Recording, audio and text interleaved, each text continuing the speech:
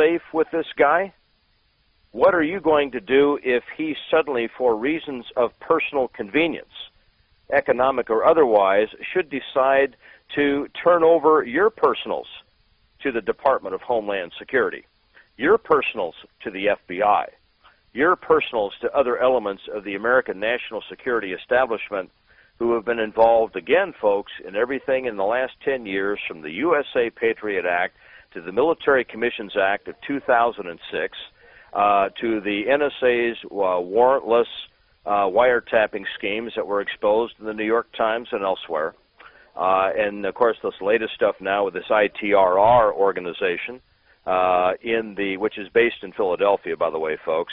And now Ed Rendell, the former mayor of Philadelphia, Zionist par excellence, and um, currently the governor of, of uh, the state of Pennsylvania, is now backpedaling and apologizing for all of this.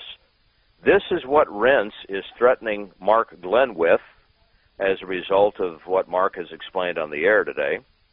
This is what Rense could conceivably use against any of you who are law abiding populists and patriots, who are not threats to reasonable people in our society, who do not have a violent uh, orientation. Uh, you might be a conservative Catholic, a conservative Protestant Christian, uh, you might have nine kids like Mark Glenn does and be homeschooling your kids and simply wanting the federal Leviathan to uh, avoid touching your family. You might simply be among those who want your government to return to its constitutional heritage and who want a manufacturing based economy back and who want a legitimate American nationalism to be restored instead of all of this new world globalism. If that fits you, if that description that I have uh, offered on this program today fits you, you could be next.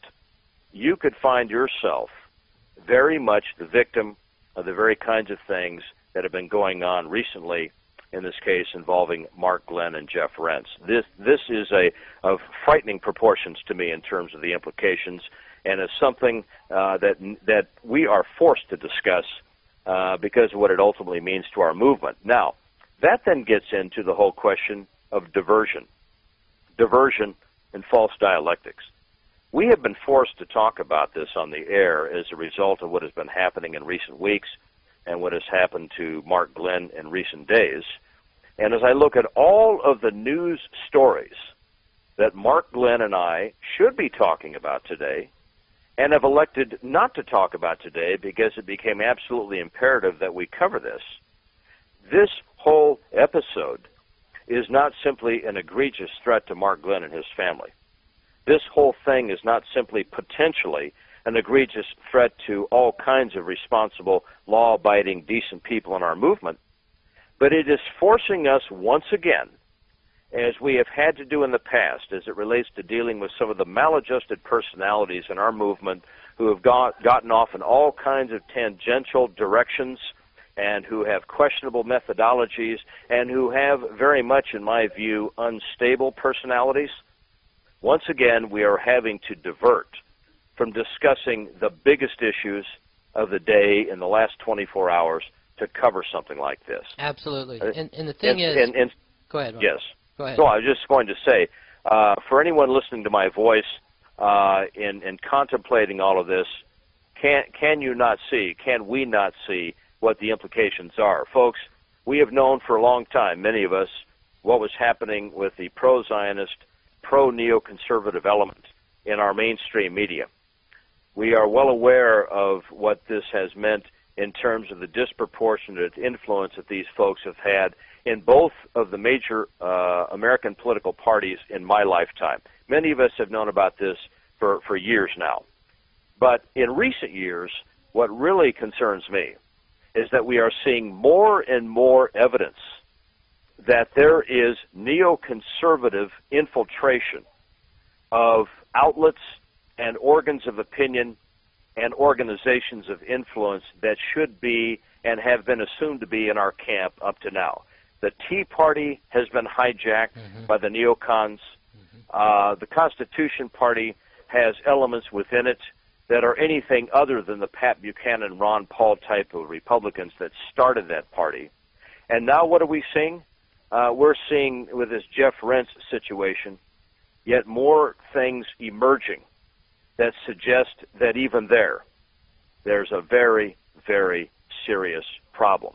And by the way, whatever happened to the whole business of calling up somebody who's a part of your team and saying to a Mark Glenn, you know, Mark, you're a great guy, but I think on this issue you're full of crap. Uh, whatever happened to that? And Mark, uh, we're still friends, even though we're going to disagree with this until the cows come home, if you feel that way. Uh, Mark, I think you've done a lot of good work, but on this particular issue, I think there's a slant or an angle or an aspect of this that you haven't seen. Now, folks, in this instance, I don't happen to believe any of that. But even if I did, would I be calling up Mark Glenn? Would I be calling up any of the other people in our movement who have befriended me in the past and the present and who have supported me through all kinds of difficult situations to say, you know, I'm going to call the Federal Department of Homeland Security on you. And isn't it ironic? And I like David Duke. Uh, we're not on the same page on every issue. I, by the way, have never belonged to the KKK. Uh, Dr. Duke has, and he has since repudiated that decision from years ago. I have been tarred and feathered by a, an anonymous Zionist website for merely having met with Duke one time in Texas and have, having favorably reviewed something that he had to say in one of his books. But I find it amazing that uh, Dr. Duke, who I think is a person of great integrity, uh, has nonetheless, in serving as the intermediary for these uh, apparent threats made by Jeff Rense toward Mark Glenn and his family.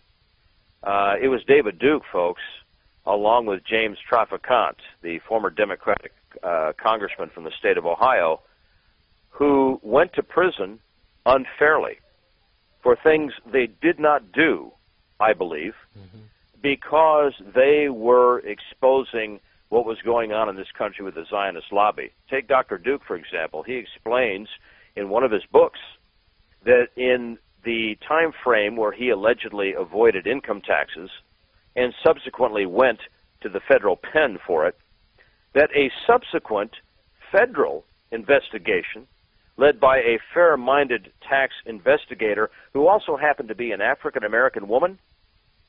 She uh, was able to substantiate the fact, and a letter was subsequently sent to David Duke to this effect, that he not only had filed a tax return in the year in question. He had overpaid his taxes. Mm-hmm.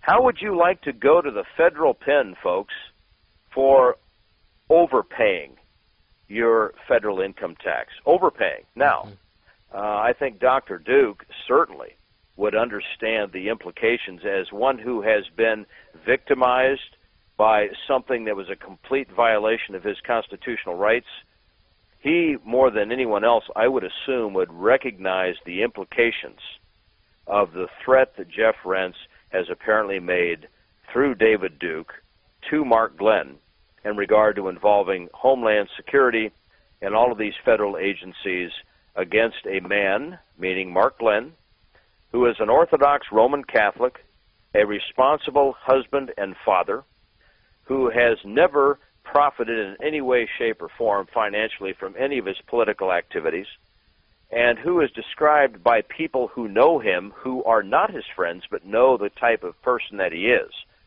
as a law abiding, honorable Catholic Christian uh, who is certainly not a subversive or a man given to violence or a person who would hurt innocent people uh, in any way, shape, or form, including people that he disagrees with. This is the profile of someone that Rense has said he is going to sick Homeland Security on. Uh, who's next, folks? And if you have been involved in supporting what this guy is doing in the past with the best of intentions and the best of motives, you, in fact, unwittingly could be, at some future juncture, a possible next victim we, Let's get that out there right on the table right now. That's what we're talking about. Absolutely. Here. And you know, Mark, the thing is this for years, I mean, look, being in this movement that we're in, uh, we're constantly being assailed by uh, the latest conspiracy theory involving who so and so who's actually a Zionist shill. I get these things every day. You know, do you think so and so is actually a secret agent? You know, and and I always say no, they're not. Okay, because look, everybody's got their own way of doing things, right? I mean, some people like ketchup on their hot dogs, some people like mustard, some people like mayonnaise. Okay. Uh, now Jeff Rense, you know, he has his way of doing things. I have never agreed with, you know, the UFO stuff and Bigfoot and giant lizards in human form and all the rest of that stuff. But I thought, well, you know, we'll just look the other way as far as that goes, uh, because he's doing good work in terms of getting the uh, the truth out concerning uh, the Zionists and whatnot. Um, but but this latest business of, of going down and basically allowing yourself to be used as a bullhorn for uh, propagating this uh, this nonsense that has gotten us involved in these two wars. Okay, that's a different issue altogether. Okay, like I said before, you know everybody has their own favorite spice that they like to use when cooking, and that's fine until you start putting arsenic in there. And, and, okay, once arsenic becomes that favorite spice, it's no longer a matter of taste anymore. Okay, because arsenic is poison, and these lies that he is propagating uh, with regards to Islam and re with regards to Muslim and whatnot, they are poison, pure and simple. it doesn't matter what you think about Muslims. It doesn't matter if you're one of these extremely uh, uh, orthodox, for lack of a better word, orthodox Christians where you know, uh, all you want, all you envision is a Christian world where everybody uh, thinks and sees things the same exact way.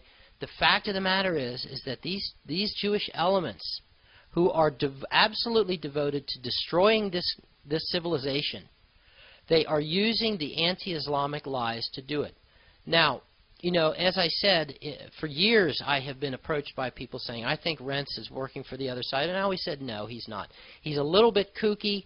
Okay, obviously, you know, anybody who spends that much time in front of the mirror uh, uh, working on his hairdo, you know, like that, he's got to have some something quirky about him. Okay, uh, but now, honestly, I have to think twice about this. Okay, and it really wasn't until you had brought this up this morning, Mark, when you said, "Well, if this man would do this to you over a disagreement that you, the two of you, have a philosophical disagreement."